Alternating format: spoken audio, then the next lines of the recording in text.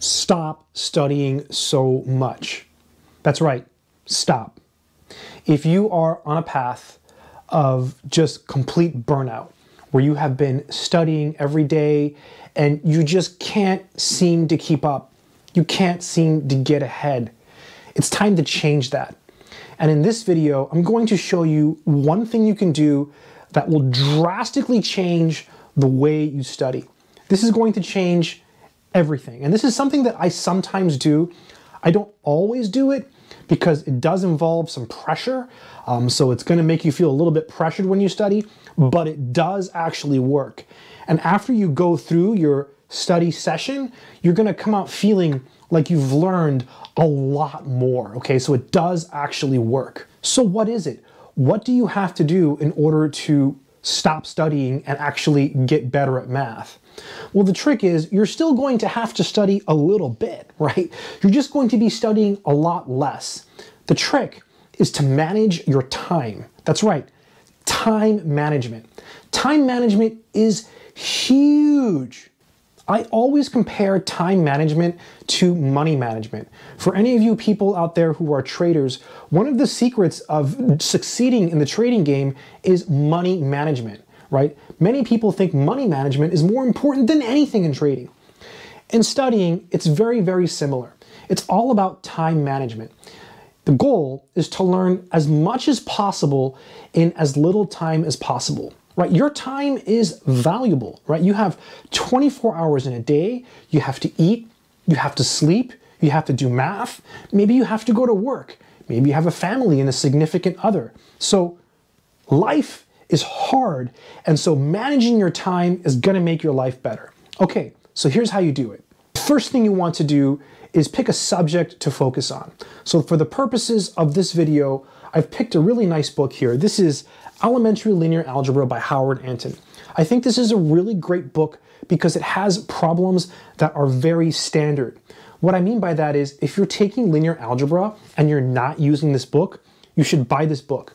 You can get a used copy on the internet online for probably a few dollars. Just go on like bookfinder.com and type in Anton, look for linear algebra, and you should be able to find a copy. I'll try to leave a link in the description too if I remember. Anyways, so let's pretend you're focusing on linear algebra. So step one is to get a book that has problems that are widely used. So for example, for linear algebra, the Anton book has problems that are very popular. These are problems that you might even see on an exam. In fact, that's how I often got A's on exams. I would study from other books, and then when I took the test, I would see problems from those other books on the tests because I would pick the right books. So picking a book like this, I think, is a good choice. Okay, the next thing you want to do is the following.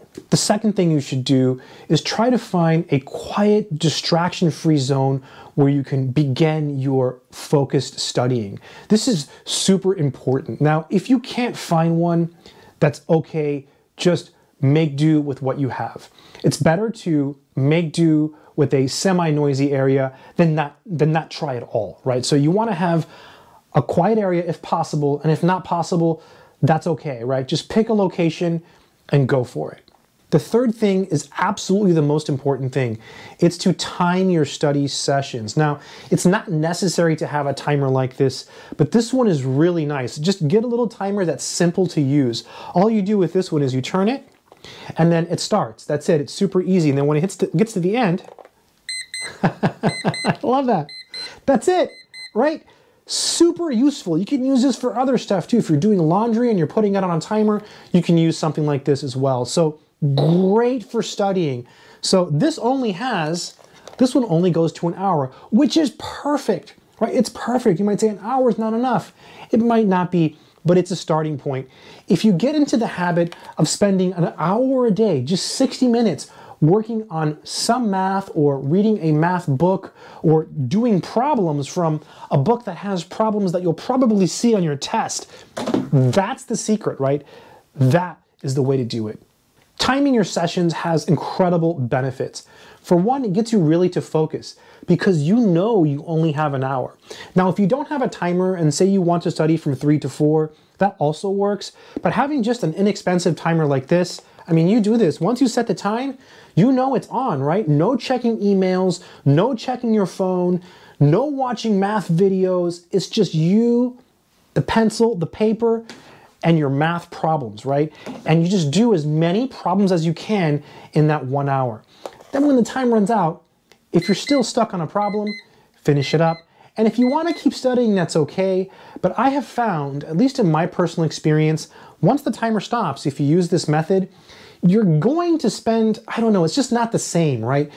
Once you get into the habit of using a timer like this for your study sessions, I really, really think it's going to make a big difference in your productivity. Another thing that timing your sessions does is it really frees up a lot of time for the rest of your day. You might be spending four, five, six hours right now a day studying, but how productive are your study sessions, right? That's really what a timer does. It kind of makes you hyper focused because you only have a certain amount of time. And so you can really, really study. Now, most phones have timers, right? My phone has a timer. I'm pretty sure every phone in the world has a timer. But this is better than a phone because you're not going to be checking your text messages. You're not going to be reading your notifications, right? This disconnects you from the internet and keeps you with your with your book, with your pencil, with your paper, and then you do have a really nice electronic device like this one. It really is about studying the right way.